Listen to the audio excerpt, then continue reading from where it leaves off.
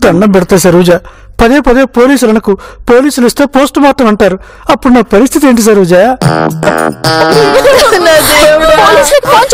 మా అత్తయ్యకి తెలిస్తే ఆ, మీ అత్తయ్యకి తెలిస్తే ఏమవుతమ్మా?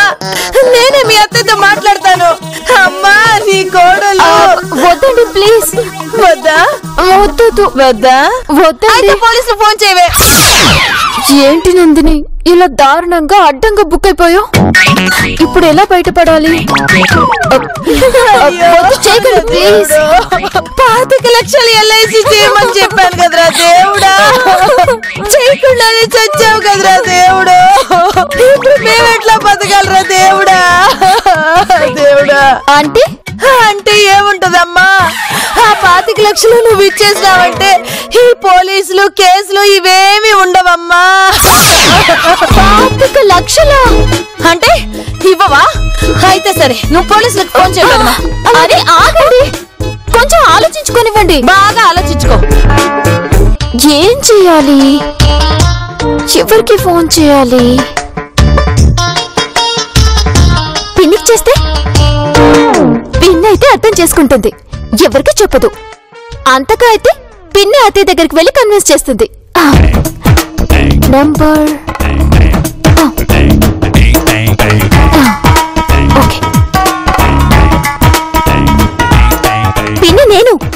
నా పేరు ఎత్తకుండా నేను చెప్పేది మాత్రం విను.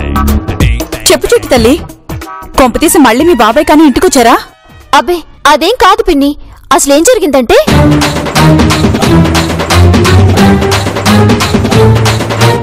అది పిన్ని విషయం. పాతిక లక్షలు ఎక్కడి నుంచి తీసుకురావాలి? పాతిక కాదు కదా పావలా కూడా ఇచ్చేది లేదు. నువ్వేం భయపడుకు నేను వస్తున్నాను. ఆ. ఓకే. మా పిన్ వస్తుందని చెప్పు. సరేనా? సరే సరే. చిచి అందరికి ధైర్యం చెప్పి సలహాలు ఇచ్చే నేను? ఇప్పుడేంటి ఇంత టెన్షన్ పడుతున్నాను? చిచి అయ్యో ఎంత పని జరిగిపోయిందిరా దేవుడా? పడుకోబెట్టారు? దక్షిణానికి తల పెట్టి శవాన్ని పడుకోబెట్టకూడదంటమ్మా. అయ్యో. అందుకే ఉత్తరానికి తల పెట్టానమ్మా అయ్యో. అయినా అవన్నీ నీకెందుకు కానీ ఫోన్ చేసావా? చేశాను. మీ అద్దె వస్తానని చెప్పారా? లేదు మా పిన్ని వస్తానంది. డబ్బు తెస్తాను చెప్పారా? తెలీదు. ఏయ్ తెలియదని అంత పరిసరంగా చెప్తున్నావేంటి డబ్బు తీసుకురాకపోతే ఏమవుతుందో తెలుసా? జైలు జైలుకి వెళ్ళాలి. దేవుడా నేనేంటి? ఇలా మాటలు పడాల్సి వస్తుంది. భగవంతుడా ఇది కల అయితే ఎంత బాగుండో. ఏది? మీ పిన్ వస్తుందన్నా రాలేదే? ఏ వస్తుందని చెప్పా కదా. మా పిన్ని వాళ్ళ ఇల్లు మీ ఇంటి పక్కన ఏంటి? వెంటనే రావడానికి. ఏంటే? మా దేవుని పొట్టన పెట్టుకుందే కాకుండా తెగ నీలిగి మాట్లాడుతున్నావు? సరోజ తొందరగా బేరం మాట్లాడు. నేను చచ్చేలాగున్నాను నందిని నందిని!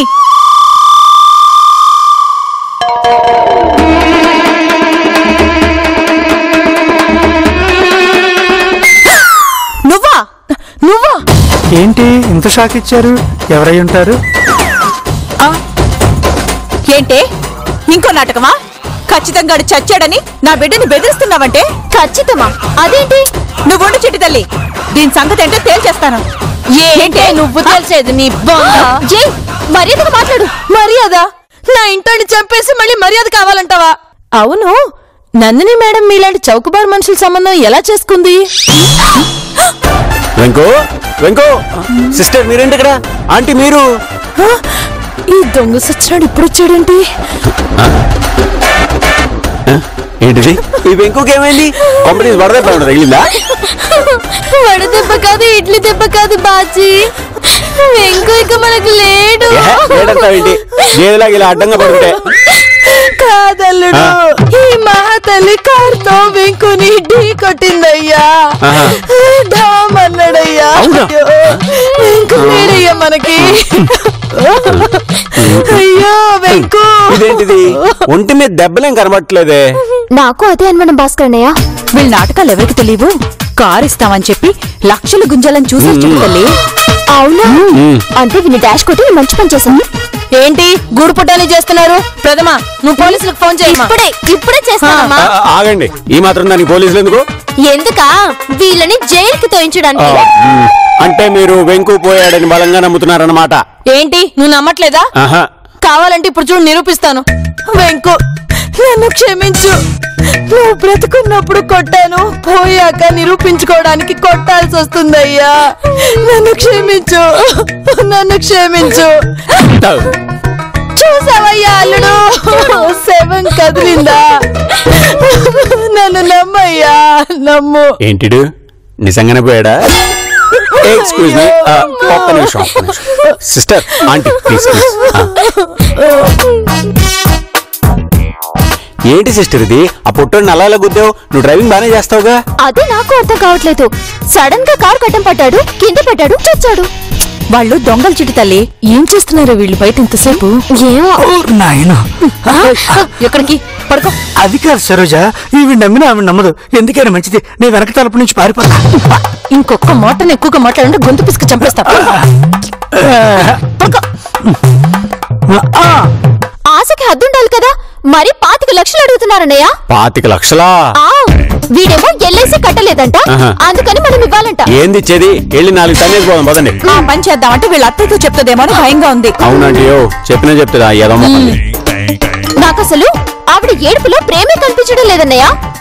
నేను ఎదురుగా ఉన్నప్పుడు మాత్రమే పైగా శవాన్ని ఎదురుగా పెట్టుకొని టిఫిన్ కూడా చేసింది తెలుసా? అవునా? అవును పిన్ని. అంతేకాదు మొదటేమో శవాన్ని తల అటువైపు పెట్టి పడుకోబెట్టారు. నేను నీతో ఫోన్ మాట్లాడి వచ్చేసరికి ఆ తలని ఇటువైపు పెట్టి పడుకోబెట్టారు. అదేంటి అని అడిగితే వాస్తు అని ఏదేదో చెప్తున్నారు. వాస్తా అడి బొంద. ఏదో తిరకాసుంది సిస్టర్. ఆ శవాన్ని నేను లేపుతా. లేపుతాగా? ఈ దొంగ సచ్చినోడు ఏం చేయబోతున్నాడో అడగాలి. అయ్యో.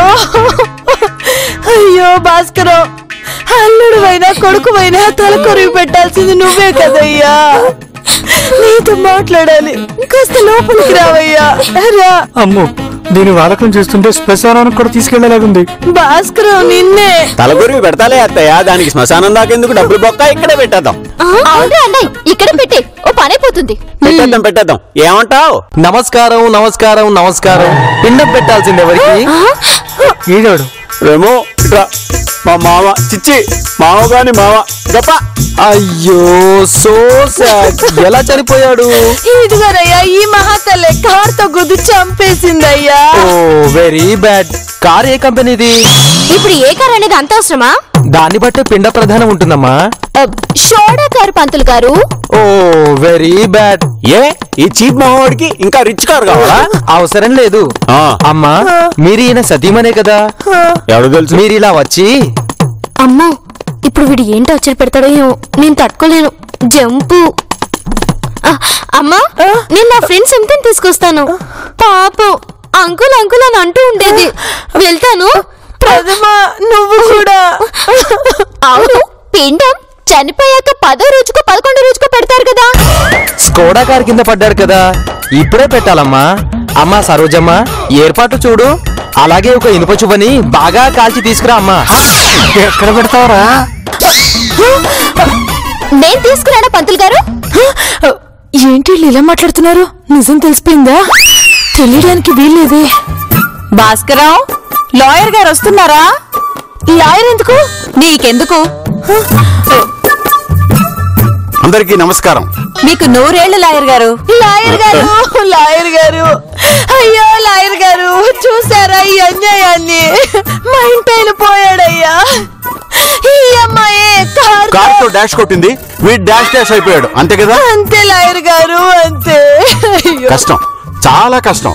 అమ్మా మీ ఆయన్ని చివరిసారిగా చూసుకోండమ్మా. ఎందుకురా? ఎందుకు పంతులు గారు? చెబుతా చెబుతా. మీ ఆయన్ని చివరిసారిగా చూసుకోండమ్మా. పంతులు గారు ఒక్క నిమిషం ఉండండి. నాకు అద్భుతమైన ఐడియా వచ్చింది. ఏంటి లాయర్ గారు? ఈ పిండాలు క్యాన్సిల్ అవునమ్మా క్యాన్సిలే ఇదిగో పంతులు నువ్వు దయచేయి. ఈ పిండా లేదు నీ బొంద లేదు. నువ్వు బయలుదేరిపో. అదేంటి? పొట్టోడికి పిండాలొద్దా? ఆ పిండం పెట్టకపోతే అపచారం. చిటి తల్లి వాళ్ళ విషయం నీకెందుకు ఊరుకో? వీడు చావలేదు పిన్ని బతికే ఉన్నాడు. అవునా? ఏంటి అవునా? మా అత్తయ్యకి ఈ విషయం తెలిసిపోయింది. పాతిక లక్షలు తెస్తున్నారని చెప్పాను. తెస్తున్నారా? ఆ. అయితే సరే. ఏంటయ్యా ఇంక ఇక్కడే నిలబడ్డావు? నీ పిండాలకో నమస్కారం నీకో నమస్కారం. వెళ్ళవయ్యా వెళ్ళు. మరి పిండాలు ఏం చేయమంటారు? నువ్వు పెట్టుకో. ఇందా వెళ్ళు. వెళ్ళు. అమ్మయ్యా ఎలాగైతేనే ప్లాన్ సక్సెస్ అయింది. కష్టం గారు ఇందాకేదో ఐడియా అన్నారు కదా? కష్టం. ఇలా అయితే చాలా కష్టం. మాకు కూడా చాలా కష్టం. ముందు నువ్వు దయచేయవయ్యా అవతల పెద్ద మనిషి వస్తున్నారు. అదేంటమ్మా? నీకు డబ్బులు వచ్చే మార్గం చెప్తానంటే ఇలా అంటావేంటి? డబ్బులా? ఏంటది? అమ్మా నందిని ఈ ఐడియా నీదేగా? నువ్వు చెప్తావా నన్ను చెప్పమంటావా? డబ్బుల వ్యవహారం కదా. మీరే చెప్పండి కష్టం గారు. ఏం లేదమ్మా. మనోడు ఎలాంటి గాయాలు లేకుండా ఫ్రెష్గా తెచ్చాడు కదా. అయితే అయితే ఏముంది? కళ్ళు కిడ్నీలు మెదడు అమ్మేస్తే ఎక్స్ట్రా ఇంకా ఐదు లక్షల దాకా వస్తాయి? అది విషయం. ఇదిగో భాస్కరం అంబులెన్స్కు ఫోన్ చేయి. చేసా ఆన్ ద వే ఎక్కడున్నాను నేను? ఎక్కడున్నాను? వీళ్ళందరూ ఎవరు? ఎక్కడున్నారండి? ఏడుకొండలవాడా వెంకటరమణ? నువ్వు ఉన్నావయ్యా నువ్వు ఉన్నావు నీకేం కాలేదు కదా? నా దేవుడు తిరిగి వచ్చాడమ్మా నా పూజలు ఫలించాయమ్మా. చచ్చి బతికాడమ్మా నా దేవుడు తిరిగి వచ్చాడు తల్లి. ఏంటే? చచ్చి బతికాడా? మీ నాటకం మాకు తెలియదు అనుకుంటున్నావే? భాస్కర్ ఆంటీ. పోలీసులకు ఫోన్ చేయి. అమ్మా నీ కాలు పట్టుకుంటానమ్మా మమ్మల్ని వదిలేయండి ఎన్ని వేషాలు వేసారే లేదమ్మా బుద్ధి కడిదిం చేశానమ్మా? ఇంకెప్పుడైనా ఇలా చేస్తారా? చేయను కదా. చేయను బుద్ధిగా అమ్మా కదా అమ్మా అమ్మా. సర్లే పిన్ని వదిలే మనం వెళ్దాం కదా ఆ. ఇదిగో యాభై వేలు వాడుకో. అందులో విశాలక్ష వడ్డీ డబ్బులు ముప్పై వేలు ఉన్నాయి. ఇందాక నొక్కేసింది. ఇప్పుడు ఫోన్ చేయి అంబులెన్స్కి.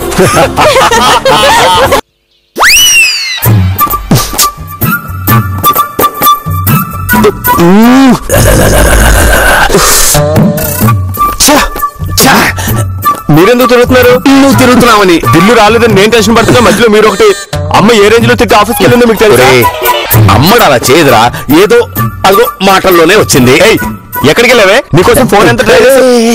మూడు ముక్కల్లో చెప్తాను వినండి. మా ఫ్రెండ్ అంజలి వాళ్ళ ఇంటికి వెళ్తున్నాను. అప్పుడు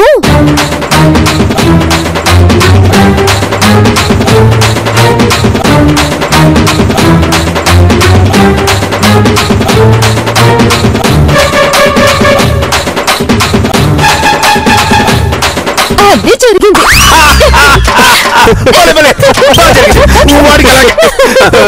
అయినా అమ్ముడు నువ్వు మీ అత్తయ్యని ఇలాగా ఓర్కు స్వామి ఏదో సరదాగా కార్ తీసుకెళ్ళాను. ఇలా జరుగుతుందని కలకన్నానా ఏంటి? ఫోన్ పోకపోయింటే ఫోన్ చేసి చెప్పేదాన్ని కదా. మళ్ళీ ఇలా జరగకుండా కొత్త ఫోన్ కొనుక్కో. హ్మ్, ఇలాంటి వాటిల్లో నేను ఎప్పుడూ ముందే ఉంటా. ఇదిగో కొత్త ఫోన్ కొత్త నెంబర్. అమ్ముడు పాత నంబరే కొత్త సిమ్తో తీసుకోవచ్చు కదా? వచ్చు. కానీ ఆ నెంబర్ చివర రెండు జీరోలు ఉన్నాయి మావయ్య. నువ్వు ఎటు జీరోవేగా నేను జీరోనో హీరోనో చూసే వాళ్ళకి తెలుస్తుంది లేరా పాడుతావు ఇప్పుడు నేను నెంబర్ చెప్తాను విను. గిరగిరా తిరిగి కింద పడతావు. అబ్బా, చెప్పు. చెప్పు. నోట్ చేసుకుంటాను. Triple eight triple eight. టింగ్ టింగ్ టింగ్ టింగ్. హాయ్ ఫ్యాన్సీ నంబర్ అప్పుడు. హా మరి అందుకేగా తీసుకుంది? నువ్వు కూడా సేవ్ చేసుకో బావా. అవసరం లేదు గుర్తుంటుందిలే. గుర్తున్నా ఎందుకైనా మంచిది. సేవ్ చేసుకో. అవసరం లేదు గుర్తుంటుందని చెప్పానుగా. నాకు ఇలా మతిమరిపోయి లేదు. నీ కర్మ. ఫోన్ నెంబర్ సేవ్ చేసుకోకపోవడం ఎంత దారుణమైన తప్పో ఈ ఎపిసోడ్లోనే మీకు తెలుస్తుంది. చూడండి. ఎంత అహంకారం ఎంత గర్వం. నేను కార్ తీసుకెళ్తే కొత్త కార్ బుక్ చేస్తుందా? మనసు రగిలిపోతుంది. అసలే పని చేయబుద్ధి కావడం లేదు. కానీ కడుపు కాలుతుంది. ఏదో ఒకటి చేసుకొని తినాలిగా. అయినా ఎందుకు లేట్ అయిందో అడగాలి కదా. ఓహో నూనె పోయాలి కదా. ఇప్పుడు దిల్లుకి అద్భుతమైన మెసేజ్లు ఇస్తా. దెబ్బ కూలైపోద్ది.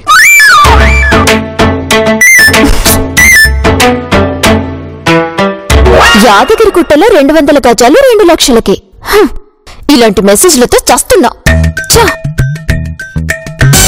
దిల్లు ఐ లవ్ యూ. ఈ చీరలో నువ్వు సూపర్. నువ్వు కోపంలో ఎంత అందంగా ఉంటావో. అది ఈ దెబ్బతో కూలైపోద్ది.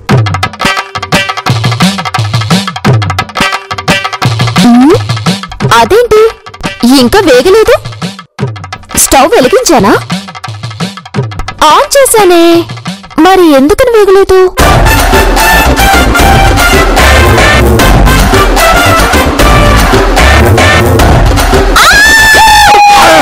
ఆ, అమ్ముడు ఏమైంది అమ్ముడు? చేయి కాలిందా? నేను రావాలనే కేకేసి ఉంటుంది పాపం నాన్న కూడా వచ్చేసరికి ఏం చెప్పాలో తెలియక అలా నిలబడిపోయింది. అమ్మడు ఏమైంది? అలా ఫ్రీజ్ అయిపోయి ఉన్నావు. ఆర్ యు ఆల్ రైట్ కూర పాడైపోయింది మావయ్య. నూనె బదులు నీళ్ళు పోసాను. వేగలేదు. అయ్యో వంట చేసేటప్పుడు ఆ మాత్రం శ్రద్ధ లేకపోతే ఎలా అమ్ముడు? మీ ఆవిడ వల్ల జరిగింది మొత్తం. కార్ గురించి ఆలోచిస్తూ ఇలా చేశాను. ఇప్పుడు ఏం చేయాలి? అమ్మో నందు. ఆ, నందు చెప్పు నందు. ఏంటి? మెసేజ్లు చూసుకోవడం నీ కోపం పోలేదా. సచ్చినోడా సగం తిక్క మెసేజ్ల వల్లే వచ్చిందిరా నాకు. వెళ్ళవు తలకి! ఏయ్ నువ్వే నానేది నేను అంట. చిచ్చే. ఛీ! చిచ్చే.